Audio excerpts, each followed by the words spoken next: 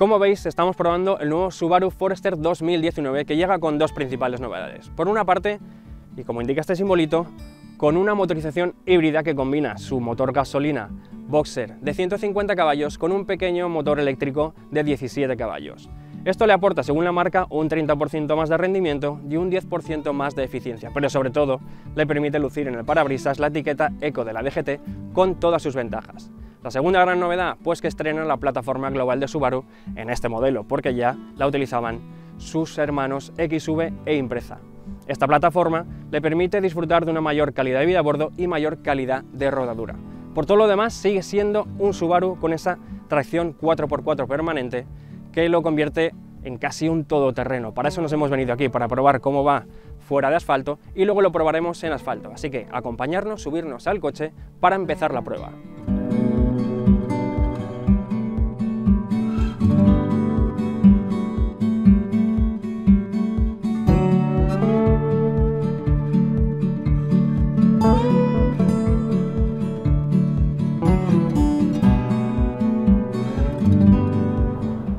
Pues estamos ya a los mandos del nuevo Subaru Forester 2019.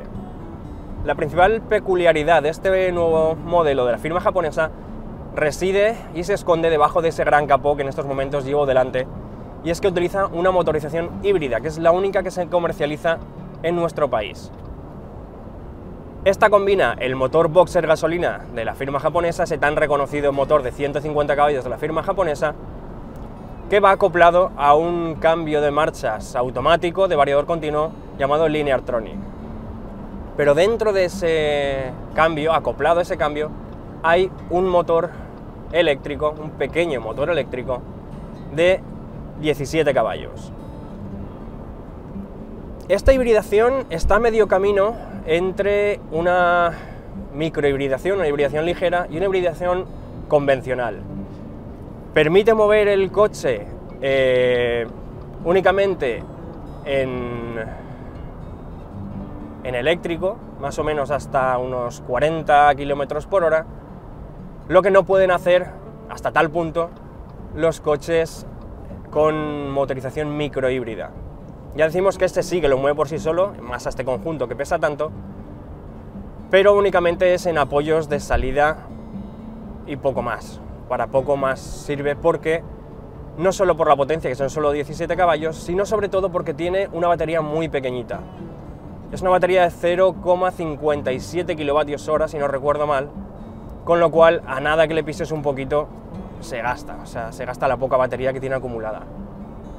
Es por ello que, como decimos, únicamente eh, responde a esa salida desde parado y aparte haciéndolo siendo muy muy benévolos con el pedal de aceleración, porque si le pisamos fuerte, enseguida pasa a tomar el control el motor de combustión.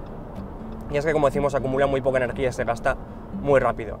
Pero sí que es lo suficiente como para contar con la etiqueta Eco, que es una de las principales ventajas de este modelo nuevo de la firma japonesa. Esta etiqueta le permite, como ya sabéis, pues eh, poder acceder a, a beneficios fiscales, poder entrar en, el centro de las ciudades cuando tienen esos protocolos anticontaminación, acceder al carril busba, o sea, una serie de circunstancias y de ventajas que todo el mundo sabemos ya lo que supone tener la etiqueta eco de la DGT. Podría pensarse que esta motorización híbrida también beneficia mucho en consumos, pero en realidad no es así. Estamos hablando de que este coche es uno de los que más, dentro de los híbridos por supuesto, de los que más consumen de su, de su segmento es difícil bajarlo de 8 litros, aún contando con la motorización híbrida, pero es que en realidad Subaru nos esconde y nos dice que esta motorización híbrida reduce únicamente un 10% lo que es la eficiencia del modelo anterior, del Subaru de 2016 con motor boxer gasolina común, pero sí que sube un 30% el rendimiento. A lo mejor no nos vamos tanto, pero bueno, sí que es verdad que, que lo sube. Sobre todo, lo que hace este motor híbrido es hacer el coche mucho más suave, mucho más agradable en conducciones a medio y bajo régimen, que es donde se rueda con, una, con un silencio, la verdad es que muy, muy agradable. Y como el Cambio Lineartronic además en baja y medio régimen, la verdad es que va muy bien, eh, porque al no tener cambios de marcha, sino que ser un cambio de marcha, entre comillas, para hacerlo muy muy simple, continuo, no hay cambios de marcha, sino que es una variación continua, como dice su nombre, es muy agradable en bajo y medio régimen. En cambio, donde más peca y quizá que es el principal hándicap de este coche, o de todos aquellos que monten un, un cambio de variador continuo, es que cuando lo subes de vueltas es muy ruidoso y sí que se mete el ruido dentro del habitáculo. Y eso que este coche está muy, pero que muy bien insonorizado. Pero si escucháis el sonido ambiente, voy a pegar un acelerón para que veáis cómo se nota el ruido del variador continuo a máximas revoluciones.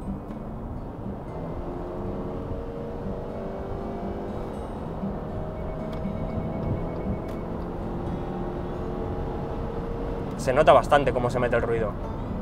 Pero como decimos, esta motorización híbrida lo que sí que consigue es que si ya es de por sí suave y silencioso en bajas, lo hace todavía más suave y silencioso sobre todo, evidentemente, cuando se rueda en esos poquitos metros, no voy a decir kilómetros, que te deja eh, la conducción 100% eléctrica de este propulsor.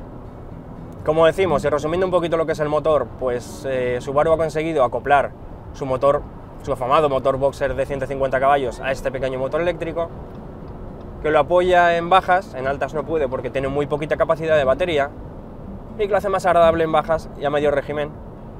Le reduce un poquito el consumo, le sube un poquito el rendimiento, pero sobre todo le permite acceder a este mastodonte, porque luego hablaremos de lo grande que es, a la etiqueta Eco de la DGT con todas las ventajas que ella ofrece.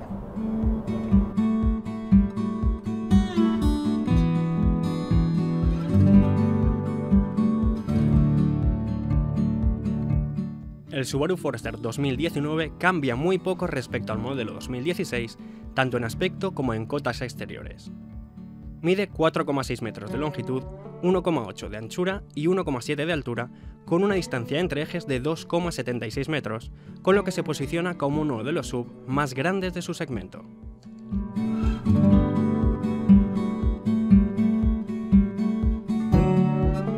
Decíamos que la principal novedad del Subaru Forester 2019 era la motorización híbrida, pero sin duda otra gran novedad es que estrena la plataforma global de Subaru que ya habían utilizado sus hermanos XV y eh, Impreza.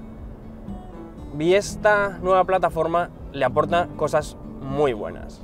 Principalmente eleva muchísimo su calidad de rodadura. Se siente un coche sin perder la esencia, ese ADN 4x4 de Subaru, pero se siente un coche mucho más civilizado, mucho más confortable, con una calidad de rodadura, como decimos, que es excepcional. En, en carretera sientes el coche mucho más aplomado, sientes el coche mucho más silencioso, sientes el coche mucho más estable. De hecho, dice la, la marca que ha trabajado para incrementar incluso un 50% lo que es estabilidad de este Subaru Forester con respecto al modelo de 2016. Pero no es marketing, la verdad es que es verdad. Se siente un coche mucho más aplomado, mucho más estable, con una calidad de rodadura, como decimos, mucho mejor. El coche se desliza mucho mejor por el asfalto. Y cuando digo se desliza, es que consigue aislar el habitáculo para que no se filtre tanto ni los ruidos de los neumáticos cuando ruedan sobre el asfalto, ni los ruidos del viento como cualquier sub genera por su gran capó y los grandes retrovisores exteriores. Se siente un coche mucho más premium, por decirlo de alguna manera. Además, sí que es cierto que hemos cogido antes un pequeño tramo de curvas y ya sea por esa mejor estabilidad que promete la marca como por los tactos de dirección y de pedales, te, da, te hace sentir mucho más seguro es una dirección más directa y más firme, entre comillas, con lo cual te permite ir más rápido. Está claro que no es un coche para de tramo ni mucho menos, pero sí que transmite mayor seguridad, que sin lugar a dudas yo creo que la principal razón de ser de Subaru en estos momentos y de este modelo en concreto, porque ha sido elegido el mejor de su categoría en cuanto a seguridad por las pruebas EuronCap, que eso es decir mucho. Pero vamos, que la nueva plataforma global de Subaru le aporta mucho y muy bueno a este coche, con una mucha mejor calidad de rodadura, con una estabilidad muy muy acentuada y en general con una sensación de que vas en un coche premium.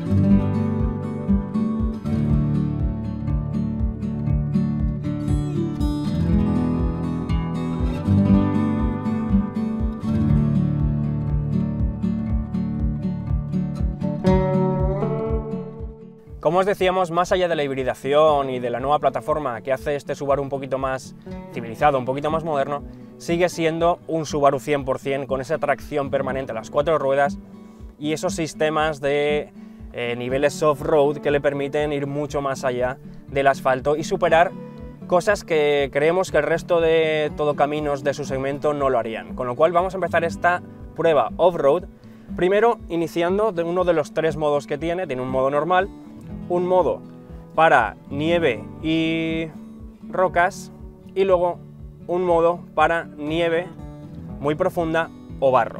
Vamos a poner, yo creo que el sencillo nieve, el que es el de nieve y tierra, nieve y rocas, y vamos a iniciar esta prueba.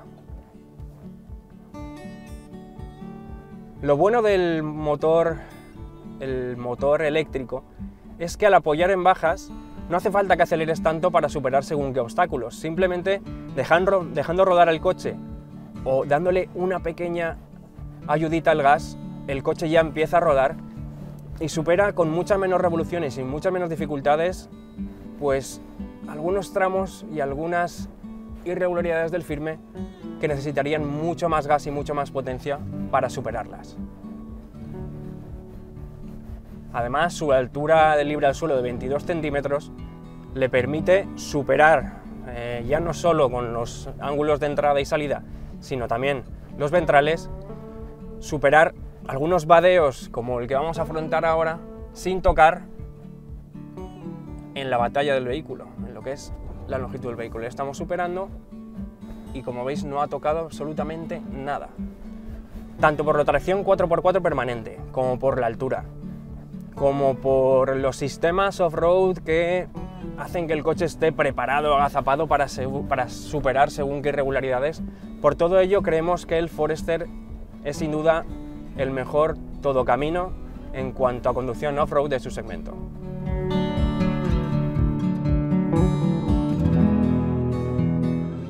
El Forester sigue la línea de los últimos modelos lanzados por Subaru, con un interior que brinda una calidad percibida muy elevada. Esto es gracias a la utilización de buenos materiales, unos ajustes de piezas sobresalientes y la introducción de tecnologías de última generación con apartados digitales de uso lógico e intuitivo, y además totalmente compatibles con la conectividad que exige el usuario de hoy día. Con respecto al interior del nuevo Subaru Forester 2019, y así como el exterior, no cambia mucho. Pero la verdad es que tampoco le hacía falta una gran revolución, puesto que ya en esta generación de 2016 ofrecía una muy buena calidad de vida a bordo. Y lo hace principalmente porque utiliza buenos elementos y tecnología bastante puntera. Como vemos en esta pantalla ofrece todo lo que son sistemas de conectividad que necesitamos hoy día, también de navegación, etcétera, etcétera. Y lo bueno es que lo hace no haciéndolo demasiado digital, sino que nos encanta de Subaru que sigue conservando estas grandes botonerías analógicas para lo que se necesita. Ya rápido la radio, subir el volumen, cambiar de emisora o manejar todo lo que es la climatización del vehículo. O sea que un 10 para Subaru en ese aspecto mezclando lo analógico con lo digital. Y uno de los aspectos que más nos ha gustado y sorprendido es un sistema que monta este vehículo y que lo hace combinándose con un sistema de seguridad. Y es que, si os fijáis en esta camarita de aquí, ese infrarrojo es una camarita que te está monitorizando la cara en todo momento y la parte de seguridad es que cuando esa cámara ve que estás parpadeando más de lo normal o incluso que te duermes, pone en alerta todos los sistemas de seguridad del vehículo para, detener, para detenerlo y no sufrir un accidente.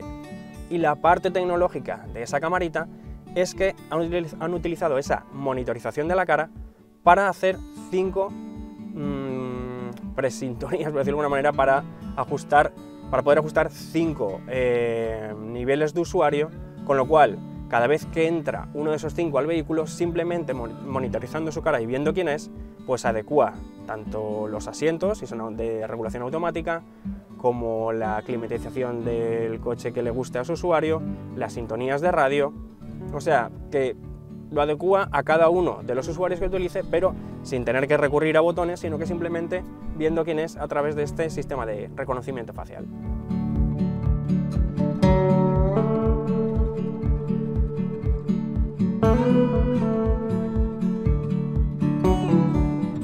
El Subaru Forester, como os hemos dicho, está en el top de su segmento por distintos aspectos, como podía ser la conducción off-road, pero también por el espacio interior, y es que ofrece una de las mejores habitabilidades de su segmento sin lugar a dudas.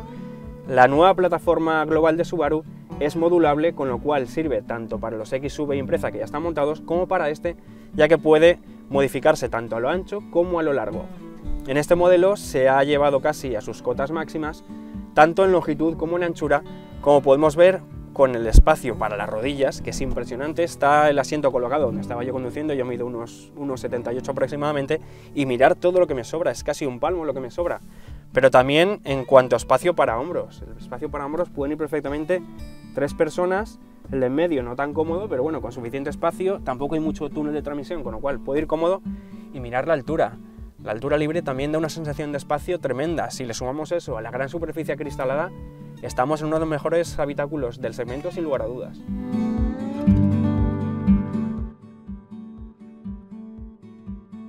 La amplitud de la banqueta trasera no resta espacio a un gran maletero, que en su posición natural ofrece 505 litros de capacidad, ampliables a 1564 si se abaten los respaldos de los asientos traseros.